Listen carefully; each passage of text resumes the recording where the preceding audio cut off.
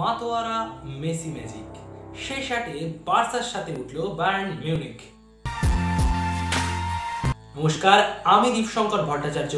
আপনারা দেখছেন Bengal hours present.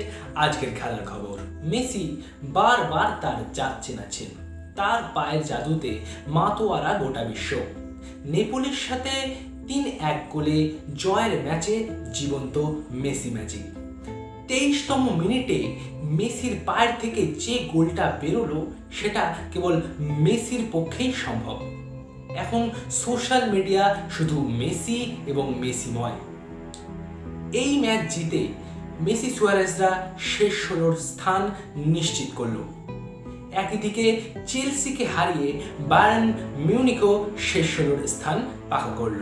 সুযোগ সন্ধানে মেসি তার সতীর্থ লুইস সুয়ারেজের কাছ থেকে বলের অ্যাসিস্ট পেয়েই সামনের দিকে দৌড়াতে শুরু করেন।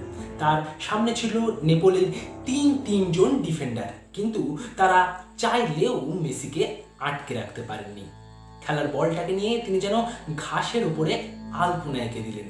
মাঝে একবার পড়েও গিয়েছিলেন, কিন্তু বলের উপর থেকে নিয়ন্ত্রণ হারাননি। মাঝে বলের উপরে এমন অসম্ভব কন্ট্রোল রেখেই সুযোগ পেলেই সামান্য বাঁক নিয়ে বলটাকে জালে ভাসিয়ে দিয়েছিলেন। হ্যাঁ গোলকিপার ওসপিনা তার শরীরটি ছুঁড়ে দিয়েছিল, কিন্তু বলের নাগাল পাননি। আসলে আগের রাতেই জুভেন্তাস এবং রিয়েল মাদ্রিদ চ্যাম্পিয়ন লিগ থেকে বিদায় নিয়েছেন। সেই কারণেই বার্সার ফ্যানেরা একটু হলেও চিন্তিত ছিল। কিন্তু ম্যাচের প্রথম দশ মিনিটেই তাদের প্লেয়ার লেঙ্গালেট ফার্স্ট গোলটি করে দর্শকদের চিন্তামুক্তি ঘটায়। তার পরের তেরো মিনিটে মেসি ম্যাজিক দেখে গোটা বিশ্ব হতবাক হয়ে যায়।